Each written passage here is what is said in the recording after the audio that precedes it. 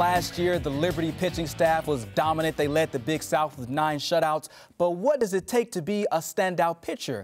Well, Matt Warner took to the field to learn the art of pitching.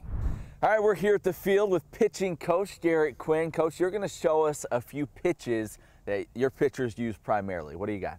Uh, first pitch is a fastball. Every pitcher throws Yeah. it. Uh, there's two types of fastball. There's a two-seam and four-seam fastballs. Uh, what I'm going to show you today is a four-seam fastball. Everybody throws it. Uh, basically, what you're going to do is you're going to you're going to take your pitching hand and we're going to set the ball kind of right there in our fingers. Okay. okay, nice and loose. And we're going to have a little bit of space here between our index finger and our middle finger. Uh, but the most important part is to make sure you, we get our thumb directly in between these two fingers. Okay. That thumb will act as a rudder. Uh, notice we've got some daylight here Yeah. uh, in between the ball and the palm of my hand. And we're just going to rear back and throw this thing. And it's, Okay. it's going to be faster than a two seam. Yeah. Uh, and it's going to be straighter, so it should be pretty easy to, uh, to locate. Now, every pitcher needs some off-speed stuff as well. You got to change speeds. Yes, you do. What do you got there? Uh, best way to change speeds is to throw a changeup. Yeah. Uh, we take a similar grip. Uh, the most common way to throw the changeup, there's many different grips. What we're going to do instead of throwing the ball with these two fingers, we're simply going to move it over Okay. to the middle two fingers, the, the middle finger and the index in the ring finger. We're going to set the ball right there in, the, in, our, in our fingers. And again, the thumb goes underneath. The pinky finger and the index finger just go on the side, and we're going to hold that nice and loose. I'll let you take that out of my hand to show you. Yeah, yeah, Last yeah, thing you yeah, want to yeah. do is is, is sit there and, and choke it. So we're just going to hold it nice and loose. And all those fingers do is create a drag on the ball. Okay. So when it comes out of our hand, it comes out eight to eight to 12 miles an hour slower. Same arm action, just comes out a little slower. A little bit slower. and That's then, it. And then finally, breaking ball. Uncle Charlie. That's right.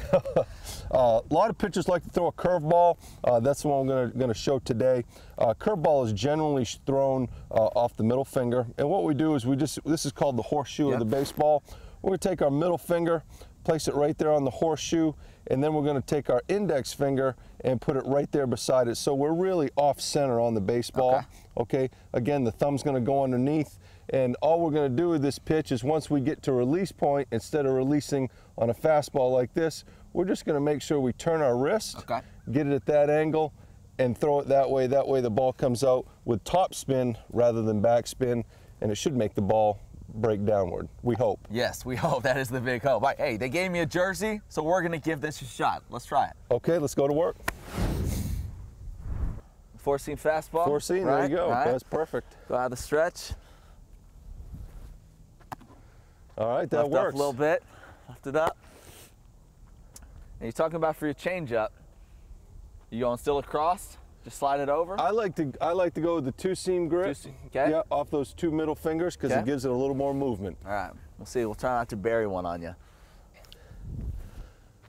Beautiful. That actually, that actually did a little something there.